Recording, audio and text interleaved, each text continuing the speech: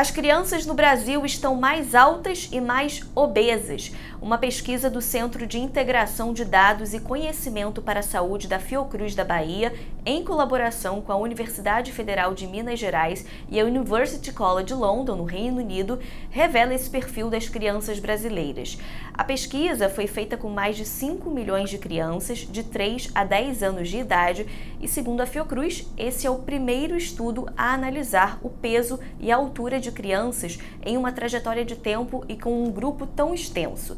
Vale lembrar que a obesidade infantil é considerada um dos maiores problemas de saúde pública pediátrica, afetando cerca de 224 milhões de crianças em idade escolar no mundo.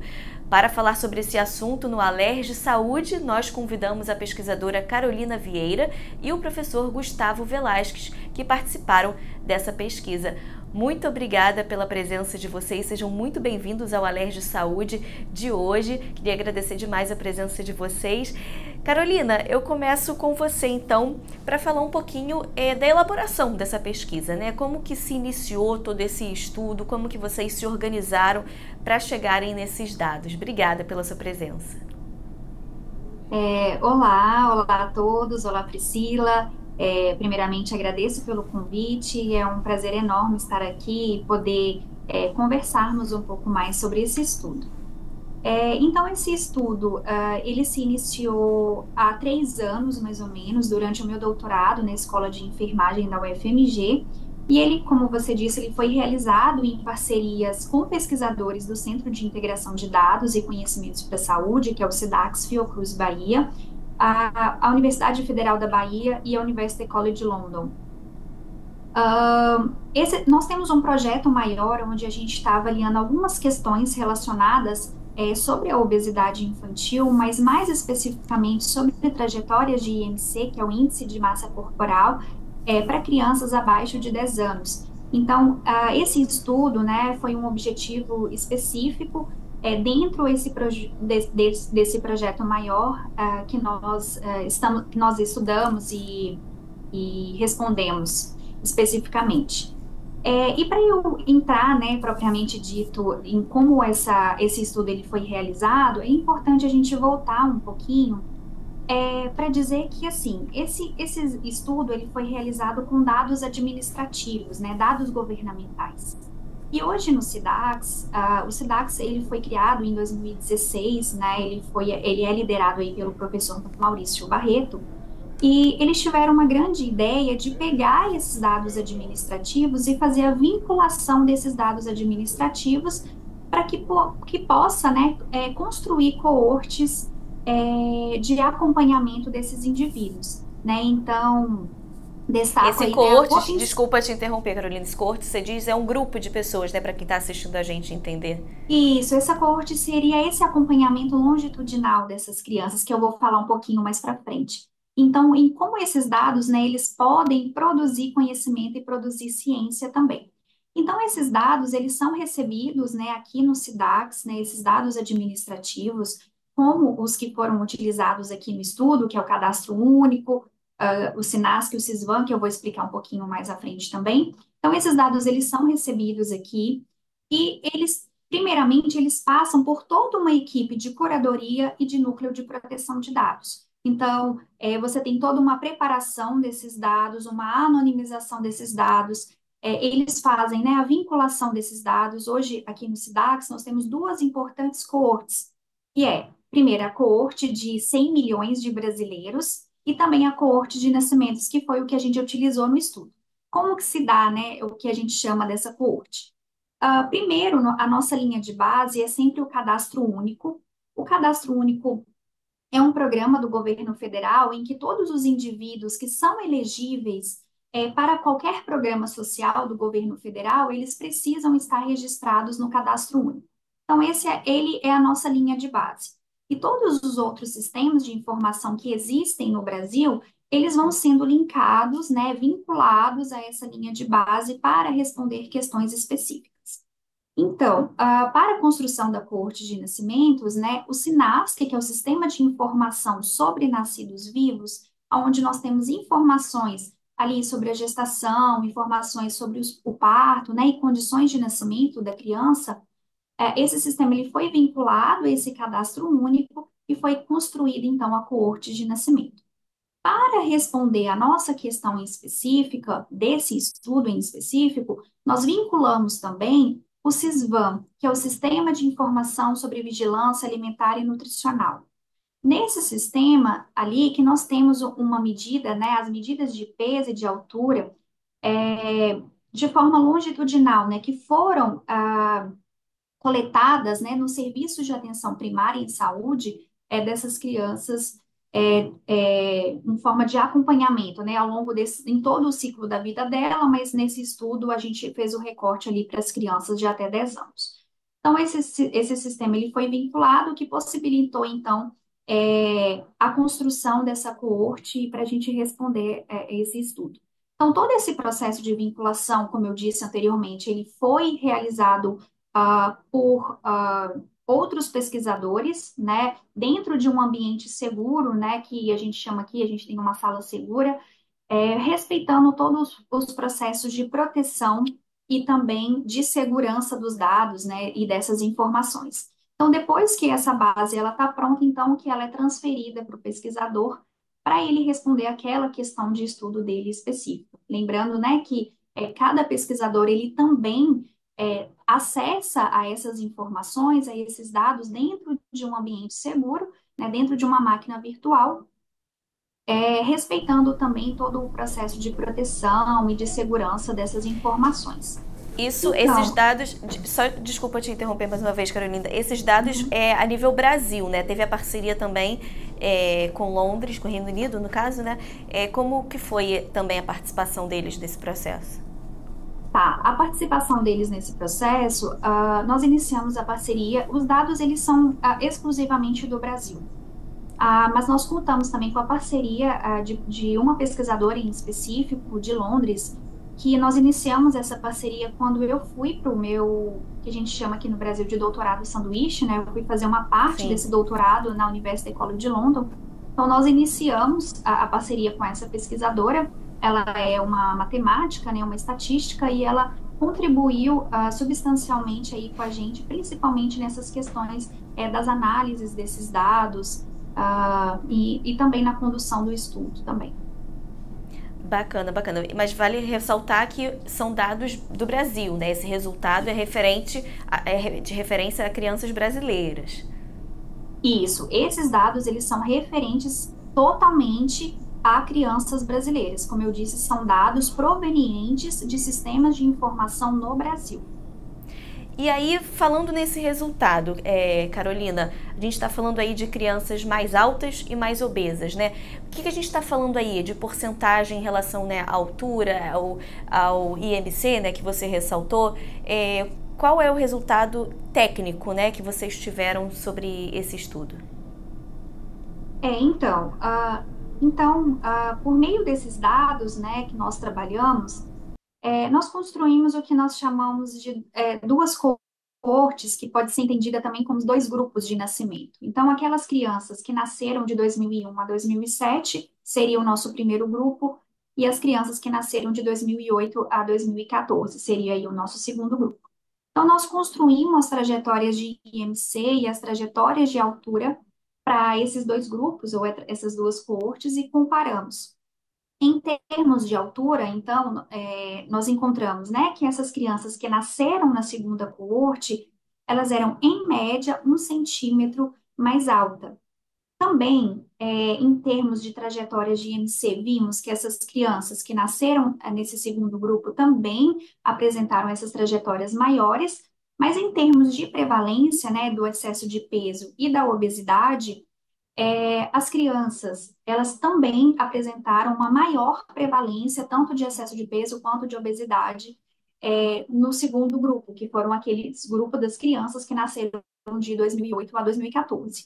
Então, a gente é, dividiu essa prevalência, né, para as crianças ali de 3 a 4 anos e para as crianças de 5 a 10 anos, nós encontramos esse aumento de aproximadamente meio por cento para as crianças de 3 a 4 anos, mas o aumento ele foi ainda mais evidente para o grupo de crianças de 5 a 10 anos, que ele foi aí de mais ou menos 3%. É uma, uma porcentagem bem considerável, né, Carolina? Isso, é, é, uma, é, um, é uma prevalência é, bem alta né, e bem considerável, sim. Gustavo, bem-vindo também ao nosso papo, obrigada pela sua presença. Diante desses números, né, o senhor participou aí dessa pesquisa também junto com, com a Carolina, teve essa colaboração. É, diante desses números, né, desses resultados, o que, que a gente pode associar? Por quê? Né, o porquê? Quais as causas desse aumento, tanto da altura quanto da, da obesidade dessas crianças? Obrigado, Priscila. Inicialmente, gostaria de expressar meus cumprimentos para os membros da Alerj né, e agradecer a oportunidade para mostrar em parte nosso trabalho, né, e o resultado de um trabalho, de uma pesquisa com uma população de dimensões bastante grandes, né, eh, do Brasil, né. Há outras pesquisas que já se fizeram dessa forma, mas em outros assuntos. Então, eh, expresso minha, minha satisfação por estar presente aqui. Estou disponível para as perguntas que Priscila achar conveniente. Bom, então, respondendo a primeira pergunta, quando se fala de obesidade, eh, a gente sempre deve eh, pensar que a obesidade é um, uma condição, né, que eh, até certo ponto eh, já pode ser considerada como uma doença, porque ela traz consequências muito eh, danosas para a saúde das pessoas, né? E até atualmente está se considerando como um poderia em alguns países pode ser até considerado como problema de segurança nacional, né? pelas consequências à saúde dos indivíduos. Então, é, esse tipo de problemas é, são difíceis de ser tratados de, de, de forma simples, mas se a gente pensar em o, a situação específica desse estudo, que houve um aumento, né? na verdade são duas notícias, né? A boa notícia é que as crianças cresceram em crescimento linear, em, em linear, em altura, embora seja um centímetro, não é? Aparece pouco, mas é muito importante que ao longo de do avanço de uma população, é importante que as crianças é, adquiram uma estatura melhor, né? porque isso é um indicador de condições de vida. Mas, ao mesmo tempo, uma notícia não muito boa é que a obesidade continua aumentando. Né? Isso não é novo. Desde 1990 é, até temos resultados mundiais, até 1990, 2022, perdão, nós temos um aumento alarmante, alarmante, eu digo assim, alarmante, das praticamente de todas as populações. Então, as condições são muito variadas, as causas desses problemas são muito variadas. O que se discute atualmente né, é, houve um processo de transição no país e em todas as populações, né, em termos de o que, que as populações, quais as, a dieta das populações, qual é o gasto energético. Então, são duas principais considerações que se levam em, em conta quando há um aumento de obesidade. Além de aspectos relacionados ao meio ambiente, né, as condições socioeconômicas de uma população né, e até das, condi das condições políticas. Ao longo da entrevista, a gente pode aprofundando em alguns desses aspectos. Mas, inicialmente, o que a gente observou no Brasil é que as crianças e a população em geral é, começou a ter ingesta de alimentos um pouco maior do que se tinha antes. Como agravante que esses alimentos é, provêm é, de, de, alimentos produzidos pela indústria alimentar, né? Então, basicamente, é o que a gente pode falar nesse primeiro momento. Falando da alimentação, teve algum alguma, um quesito na pesquisa falando em relação à classe social dessas crianças? Se teve alguma diferença em relação ao consumo, da, do tipo de alimentação?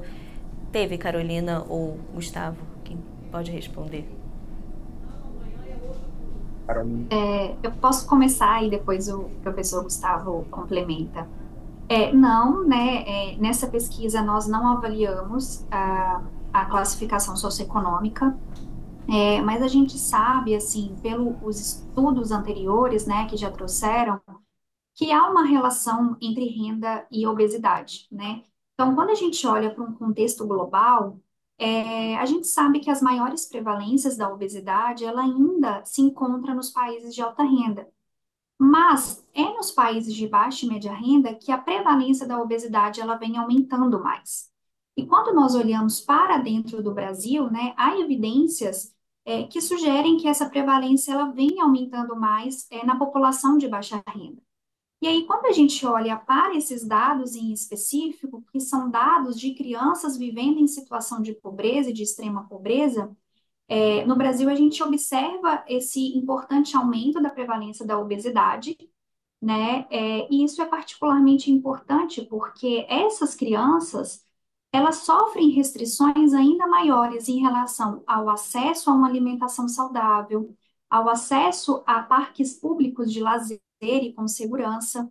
Então, esses são alguns aspectos, né, então, todas as, as políticas né, de intervenção e de promoção da saúde, elas devem ser direcionadas também de formas mais específicas para esses grupos sociais. A gente precisa falar da questão geracional também. Hoje a gente vê crianças se movimentando menos. acredito que a pesquisa pode ter é, observado e apontado isso também. Um gasto calórico também está influenciando nesse resultado? Sim. É, claro, ah, o gasto porque quando a gente pensa em ganho de peso, então a gente pensa em uma equação que é, até, ponto, até certo ponto é bastante simples. É, quanto eu consumo e quanto eu gasto. Isso vai ser resultado do peso corporal. Mas a equação não é tão simples, não é? Por quê?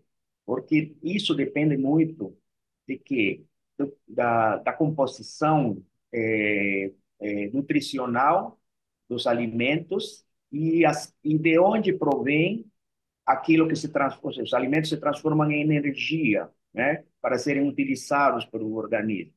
Então, isso depende muito da composição da macro, eh, dos macronutrientes e dos micronutrientes. A qualidade da dieta depende muito disso. Então, mesmo dietas iguais não produzem o mesmo efeito. Então, nos últimos tempos, o que, que tem acontecido?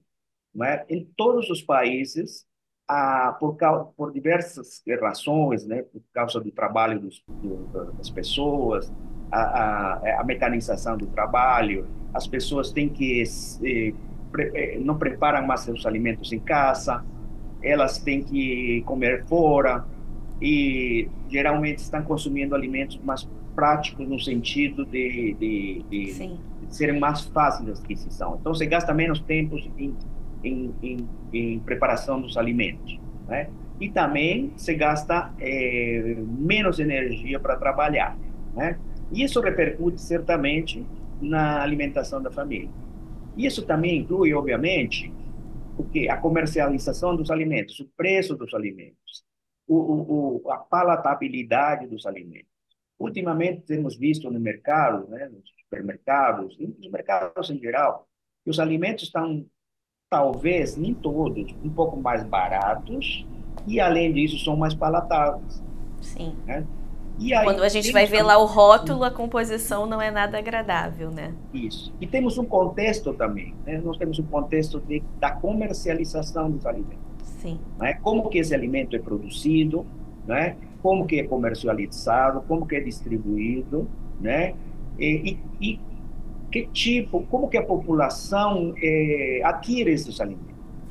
Sim. Então é uma, uma, uma, situação bastante complexa. Então certamente houve esse processo no Brasil de aumento de consumo de alimentos é, industrializados. Sim. E falando das crianças, é, Carolina, teve na pesquisa é, dados diferenciados entre meninos e meninas ou o comportamento foi padrão? A gente é, encontrou, a gente fez a diferença também, né, é, para meninos e para meninas. E no nosso estudo a gente encontrou uma prevalência maior de meninos né, com uma prevalência maior de obesidade em meninos, né, é, o que corrobora já com outros achados, né, é, no Brasil, de outros inquéritos é, e também de outras pesquisas, né, é, com esses dados que a gente chama de coorte, né, é, que também já apresentaram aí é, esses resultados no Brasil. Pois é, porque quando você fala da, da divisão que vocês fizeram, né, dos grupos de, crianças, é, como, é de 3 a 5, né? E de 5 a 10. Como, me recorda, por favor. Isso. De 3 a 5 e 5 a 10. De 3 e a eu... 4 e de 5. 5. Tá certo. Quando, hoje em dia, a gente, não hoje em dia, né, mas ao longo dos últimos anos, a gente vem vendo que as crianças, quando eu falo da questão da falta de movimento, são crianças que estão mais no sofá, vendo televisão, mais mexendo né, em jogos, não estão mais indo tanto para a rua, é, brincadeiras. É, estando mais em casa, né, em frente ao computador, em frente a telas, isso tudo impacta também nesse resultado, né, doutora Carolina? É, com certeza, né? É, é, algo que o professor Gustavo já trouxe, assim, quando a gente olha é, para as causas da obesidade, é, ela, é, ela é uma doença multifatorial, né? Envolve diversas causas, então tem ali um componente, pode ter um componente genético, um componente biológico, mas principalmente a mudança nesse estilo de vidas, né? O comportamento sedentário, é, o, o, aumento né, do consumo de alimentos ultraprocessados, que o professor Gustavo já trouxe, mas também, com certeza, é, a mudança desse estilo de vida dessas crianças, né, que antes elas passavam mais tempo é, em, em, brincadeiras, né, e hoje ela, elas passam, estão passando cada vez mais tempo em frente a telas, a videogames, fazendo as suas refeições também em frente a telas, e tudo isso, né, esse descompasso desse alto consumo energético com é, um não gasto energético, né, tudo isso aí pode sim afetar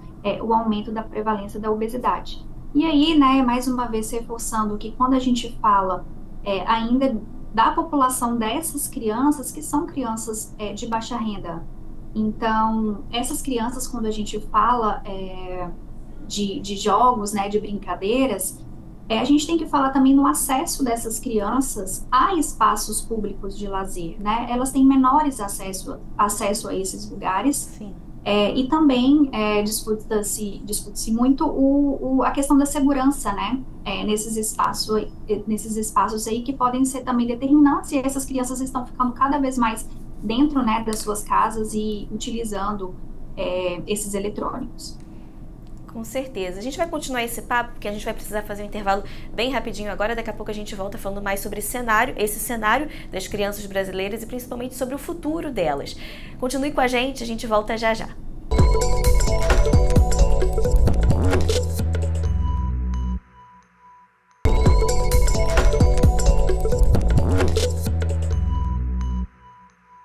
Estamos de volta e no Alerj Saúde de hoje falamos sobre o resultado de uma pesquisa realizada pela Fiocruz que apontam que as crianças brasileiras estão mais altas e mais obesas. Eu estou recebendo nessa conversa a pesquisadora Carolina Vieira, do Centro de Integração de Dados e Conhecimento para a Saúde da Fiocruz da Bahia, e Gustavo Velasquez, professor da Escola de Enfermagem da Universidade Federal de Minas Gerais, que foi parceira nessa pesquisa junto com a Fiocruz. Eu agradeço mais uma vez a presença de vocês no programa de hoje. No bloco anterior, a gente conseguiu dar um panoramazinho aí sobre a realidade dessas crianças brasileiras, né? Falando sobre as possíveis causas do aumento de, dessa altura e dessa obesidade. E aí eu volto, Carolina, para perguntar para você, comparando o resultado dessa pesquisa, é, com, com o mundo, né, com os outros países. Como que está a obesidade infantil no Brasil comparado a, a, aos outros países? O nosso resulta resultado em si, é, quando a gente olha é, para estudos já divulgados, né, em termos aí, globalmente falando, é, hoje a prevalência, ela tá para crianças aí de 5 a 19 anos, ela foi de aproximadamente 8%, né, é, globalmente. No nosso estudo, esse estudo apresentou prevalências maiores, né, para crianças nessa mesma, na faixa etária parecida ali de 5 a 10 anos, que foi em torno de 11%. né? Então foi uma prevalência aí realmente maior, né, do, do que é encontrada aí globalmente. E lembrando, né, que esses resultados a gente é, procurou é, comparar é, o ano, né, mais ou menos ali do ano que o estudo foi realizado. Então foi ali dados trazidos ali em 2016, mas de fato é uma prevalência maior comparando é, com o mundo. Sim. Doutor Gustavo, quando a gente fala de obesidade infantil, o que, que precisa ser é, servir de alerta para o futuro dessas crianças? Né? Que tipo de doenças a gente está falando? A gente sabe que a obesidade é, é, tratada como uma doença, como uma doença também, mas quais as outras doenças né, que essas crianças estão mais propensas a terem, é, principalmente no futuro? É, Priscila, se me permite, só vou Sim. acrescentar uma pequena questão Sim. sobre a, a situação eh, mundial da obesidade infantil. Por né? favor.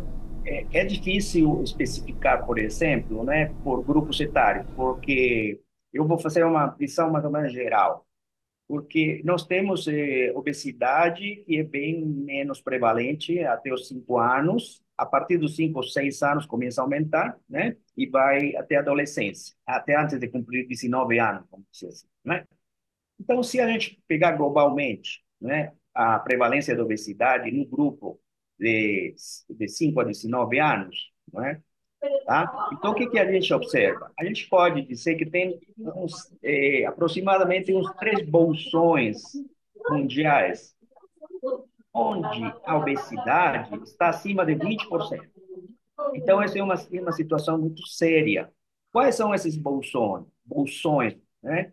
está na, no sudeste, nas islas do Pacífico, né, que ultrapassa 50%, está em alguns países africanos, né, eh, subsaarianos, não, eh, perdão, não, é aqueles países não do Saara, senão um pouquinho mais ao sul, e em América Latina, principalmente no Caribe. Nos países do Caribe, somos, eh, são países que já atingiram mais do que 20% da obesidade e alguns países de Sul-América, por exemplo, Argentina, Chile, Peru né, e Paraguai. São os países que estão eh, já passaram os 20%. Brasil está dentro entre 10% e 20%, depende da região. Tá? Então, ainda não, não eh, eh, ultrapassamos a barreira dos 20%.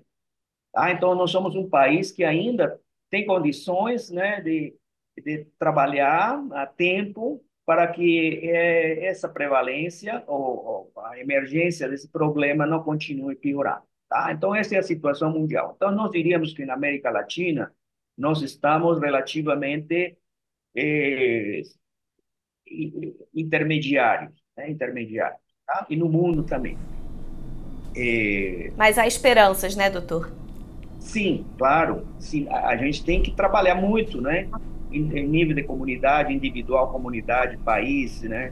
É, então, é uma série de, de, de, de, políticas públicas que estão sendo implementadas, né? Há vários, vários programas que estão atualmente vigentes, né? É, desculpa, a pergunta você me fez? Eu... A segunda pergunta seria em relação às doenças que essas crianças estão ah, propensas a terem, né, é, diante desse quadro de, de obesidade. Primeiro, é importante dizer que quanto mais precoce a obesidade seja, é muito pior, porque aumenta o tempo de exposição, né, da, do excesso de tecido adiposo no organismo. O excesso de tecido adiposo do organismo traz uma série de distúrbios metabólicos, né, que levam ao indivíduo à aquisição de várias doenças, né, é, que é uma miríade de doenças que podem estar associadas. Metabolicamente, aumento de colesterol, aumento de triglicéridos, né, é, desregulação da, dos controles finos que se, que se fazem dessas, dessas por exemplo, da glicose, né?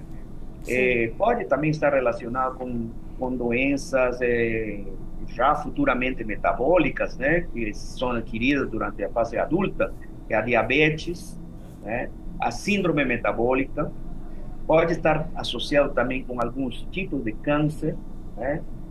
É, doenças articulares, né? Enfim, há uma série de problemas eh, crônicos, metabólicos, que estão muito, muito associados à, à obesidade. Né? E que piora quando a obesidade eh, é adquirida precocemente. Agora, doutor, é, quando a gente fala de criança, o, qual é, quando a criança é considerada obesa, né? Porque às vezes a gente vê uma criança é, mais fofinha, às vezes a criança é comprida, né? É grande. Quando que aquela criança realmente está num quadro de obesidade? Se Carolina quiser responder essa pergunta. Uhum. Vamos lá, então. É, posso Carolina. sim. É, é só é, complementando aí, né, o, é, o que o professor disse, assim, realmente é, a obesidade, né, tem estudos, né, associando ela a outras doenças, como o professor disse, é, a diabetes, a hipertensão, alguns casos de cânceres também, mas é importante ressaltar que essas crianças, elas estão apresentando esses primeiros sinais ainda na infância, né, então antes, a, a, essas doenças crônicas não transmissíveis, que antes a gente via mais em adultos, elas já estão passando também para as crianças. Então, essas crianças, elas estão acumulando, né, uma carga dessas doenças ao longo do ciclo da vida dela, né, e que se nada for feito, quando ela chegar lá na, na, na fase adulta, na fase adulta, né, ela já vai ter acumulado toda essa carga de doenças ao longo da sua vida, e tem estudos também é, trazendo, né, é, que essas pessoas, elas, isso impacta, né, na qualidade de vida dessas pessoas, e também é, na morte prematura também nessas pessoas. É, em termos, né, do que a gente, é, como é considerado uma criança obesa, né, a gente está falando aqui a todo momento, né, de obesidade, é, diferentemente dos adultos, que a gente considera, né, faz ali o diagnóstico de obesidade por meio do IMC, que é o índice de massa corporal, e aí você tem ali um determinado ponto de corte, onde você classifica aquele adulto como obeso ou não, nas crianças é, é, é, é diferente, né? A gente precisa considerar é, o peso, o IMC daquela criança pela idade dela. E para a gente fazer isso, a gente precisa o que a gente chama é, de fazer uma padronização dessa medida mesmo, desse peso, desse IMC, de acordo com recomendações da Organização Mundial da Saúde. Então, ah, é, hoje, como, e, e essa, essa padronização, né, é, esses pontos de cortes, então, primeiro a gente faz essa padronização, né, que a gente chama aí de, de Z-score, que a gente vê muito ali na, nas cardenetas de saúde da criança, uh, e aí é, como que é considerado esse ponto de corte, né? É, é diferente para crianças menores de 5 anos e para crianças maiores de 5 anos, então hoje uma criança menor de 5 anos, né, ela é considerada aí é, com já um excesso de peso quando ela tem esse, esse Z-score acima de 2 desvios padrões e quando ela é considerada obesa quando uh, é acima de 3. Para as crianças maiores, né, de 5 a 10 anos, aquele índice ali, né, de, de IMC por idade, né, ele é considerado uh, excesso de peso acima de um desvio padrão e a obesidade acima de dois desvios padrões. Então, são esses pontos de cortes que são recomendações da Organização Mundial da Saúde que são levados em consideração. E vale lembrar que para ter esses resultados, para ter essa noção, é um acompanhamento pediátrico, né, Carolina? Precisa essa criança ter consultas, né, com o pediatra que ele pode identificar isso. É, na verdade, né, é, com certeza, é, essa criança ela precisa ser monitorada, né, desde o nascimento dela, fazer um adequado acompanhamento. É, a, na verdade, né, a gente fala que para esses ganhos de peso é todo um contexto, né? O momento ali da gestação, ele também é um momento muito importante, né? Então, uh, desde o momento ali da concepção né? A gente Sim. fala até, inclusive, né, o, o principal período ali é os, os, primeiros mil dias de vida da criança, que vai desde a concepção até os dois anos de idade, né? É, todo esse período, principalmente, né, é um período, uma janela, uma que a gente chama de janela de oportunidades muito importantes e fazer o acompanhamento adequado dessas crianças, no caso ali da gestação daquela mãe, do controle de peso daquela mãe, da suplementação adequada da mãe, e depois ao nascimento, né, o acompanhamento aí dessa criança é, ao longo dos dois anos de vida, mas ao longo de, também de todo o, o ciclo da vida dela. Com certeza. É um conjunto, né? A família precisa participar de, após esse nascimento também, né? Com alimentos de qualidade dentro de casa, afinal a gente está falando de crianças, né? E crianças são pessoas, são indivíduos que precisam de cuidado, precisam de atenção e se espelham muito no comportamento dos pais, né, doutor Gustavo? Acho que é importante a gente falar disso, da presença e da, do exemplo da família dentro de casa. Sim, a participação da família é muito importante. Há uma palavra muito usada que se denomina empoderamento. Né? É, empoderar as mães, os pais, né, a identificar padrões, né, ou comportamentos, ou até mesmo é, a, a questões de imagem corporal, né, é, para perceber, né, é, que a criança pode estar em risco dela ter um peso acima do, do, normal.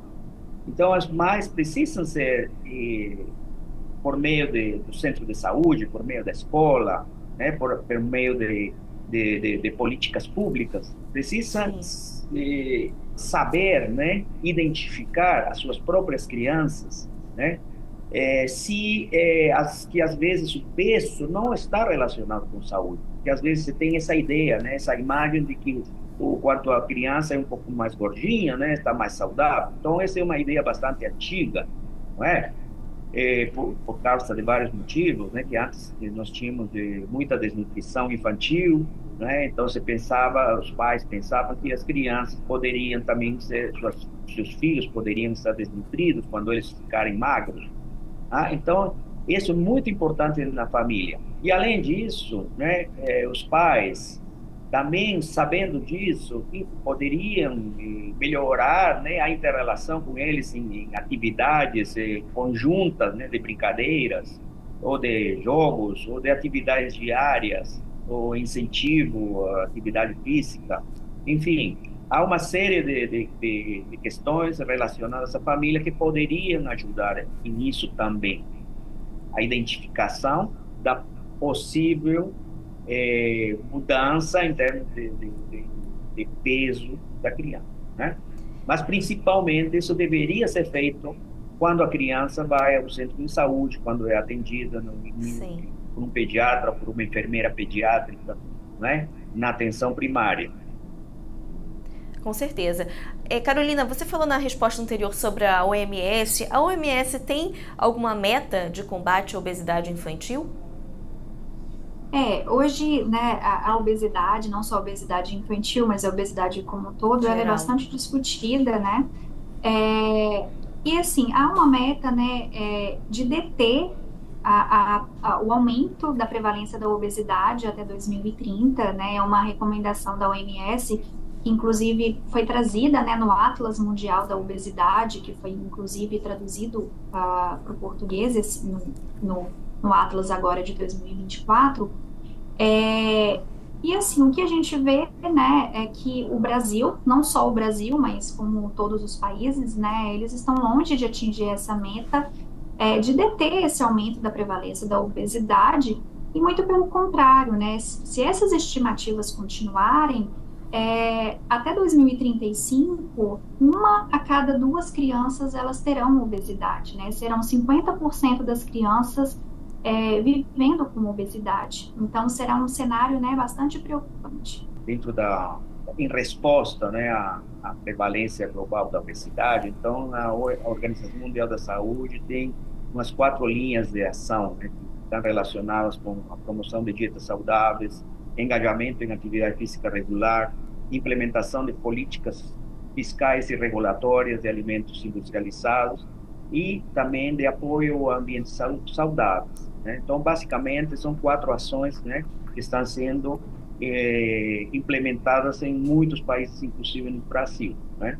É, por exemplo, a questão da regulação de alimentos, taxação, identificação dos alimentos em termos Sim. de conteúdo é, de macro e micronutrientes, né? Enfim, a, a, o Brasil está implementando, inclusive, há, um, há várias, várias políticas, inúmeras políticas públicas no Brasil para combate ou para atingir a meta da Organização Mundial da Saúde, né, que seria a, o estancamento da prevalência e, se possível, a diminuição. é uma força-tarefa de fato, né, que precisa ser feita tanto por, pelo poder público quanto é, pelos cidadãos dentro de casa, né, com os pais responsáveis por essas crianças. É preciso todo esse trabalho em conjunto para preservar a saúde dos pequenos. Carolina, além do aumento da estatura e do peso, é, foi observado mais algum detalhe nesse estudo que chama a atenção? É, na verdade, assim, a, a gente traçou a, as trajetórias, né, é, de IMC e de altura que nos permitiu chegar a esse valor, né. Então, nós traçamos ali a trajetória porque a gente queria saber é, o quanto que ele ia mudando ali ao longo do tempo, né, de 3 aos 10 anos dessas trajetórias. Então, é, a gente uh, observa, né, a gente, quando a gente traça essas trajetórias de 3 aos 10 anos, tanto de altura quanto de IMC, essa criança, né, é, além daquele resultado pontual, ela apresenta uma trajetória média, né, ou seja, ali desde os 3 anos até os 10 anos, ela vai apresentando uma trajetória superior é, do que é, as crianças que nasceram nos anos anteriores, né? É, são os nossos resultados principais, é, mas dizer que é, são os resultados desse estudo, né? Mas que como eu disse no início, a gente esse é apenas um objetivo de uma pesquisa maior.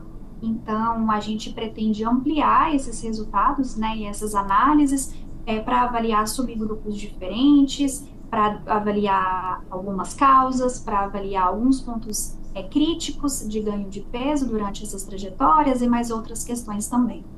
Então a gente fica aguardando esses resultados para a gente conversar mais sobre esses detalhes. Eu queria agradecer demais a presença de vocês. Carolina, muito obrigada. Doutor Gustavo, muito obrigada pelos dados e esclarecimentos no programa de hoje. Até uma próxima.